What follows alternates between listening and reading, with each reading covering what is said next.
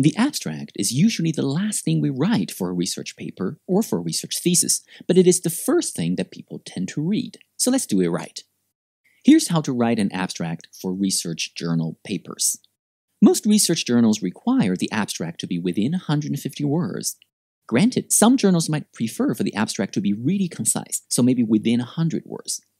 Other journals might allow for longer abstracts, up to 200 or even 250 words. But for most research papers, the abstract should be within 150 words. And this means a typical abstract should be something like just four or five sentences, concisely summarizing the research study. Now let's see how we should write these four or five sentences. The first sentence usually tells what the research objective was. Let's look at a few examples.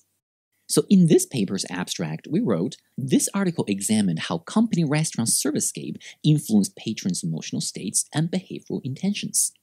Here's another example. We wrote, this study examined how work stress was related to employees' upward influence behavior. And a third example, this study investigated what hotel employees preferred as team building activities. So, in all three examples, the first sentence is just clearly describing what the research study set out to investigate. So, that's the first sentence of the abstract. The second sentence would typically describe the research method that was used in the study. Generally speaking, one or two sentences would be enough to clearly summarize or describe the research methodological approach that was used in a particular study. Let's look at those three examples again. We start with the Servicescape paper, Using data collected from 149 guests at a company restaurant of a Dutch governmental organization in The Hague, it was found that, so on and so forth.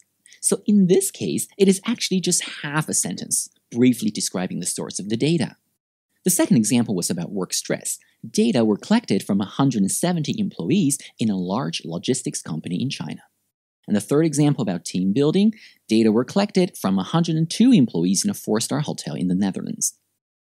In all three examples, the research method was very standard, relying on self report survey data from employees, so the descriptions of the methods in these examples were all very brief. But for studies with a more complex research method, one might need perhaps two longer sentences to properly summarize the research method. But generally speaking, if your research method is standard and straightforward, then probably one sentence is enough. So that's typically the second sentence of the abstract, summarizing the research method. After that, we will probably need a couple of sentences to summarize key findings and conclusions. Let's go to the examples. In our Servicescape paper, we wrote, using those data, we found that guest perception of company restaurant Servicescape influenced their emotional states and their behavior intentions. Further factor analysis and structure equation modeling showed this and that.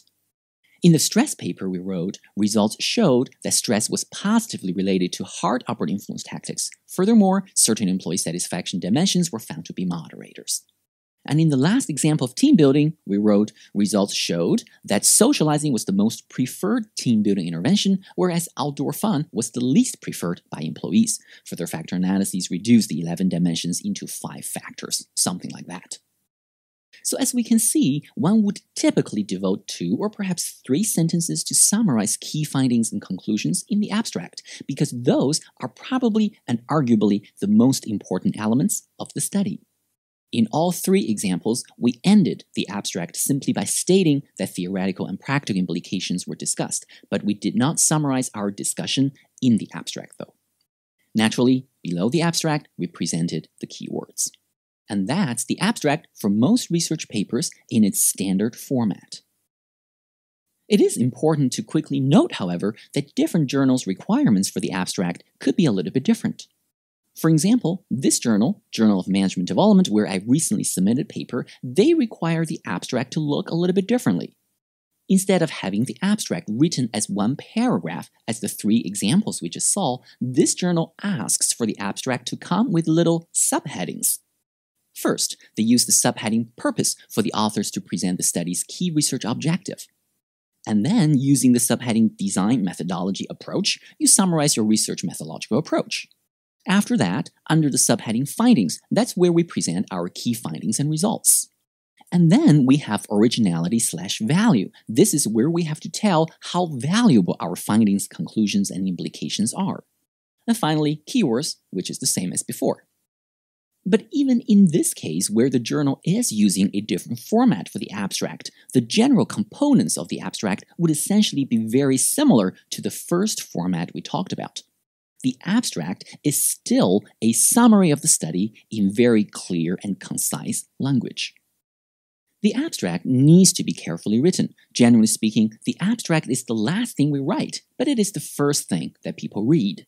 As an example, when I read a research journal, I first read the abstract of a study in order to see whether or not this study is of relevance or interest to me, so that I could decide whether or not I'm going to read the study more carefully. When I grade a student's research thesis or research papers, first I read the abstract, because reading the abstract would enable me to quickly understand what this research study is all about. And when I'm browsing through the search results on our university's academic databases, I read the abstracts of the studies found in order to see which one is useful or relevant for my research. So this goes to show how important an abstract is for a study, and that's why we should all write our abstracts properly and carefully, and now you know how. The next time you submit an abstract, it better be good.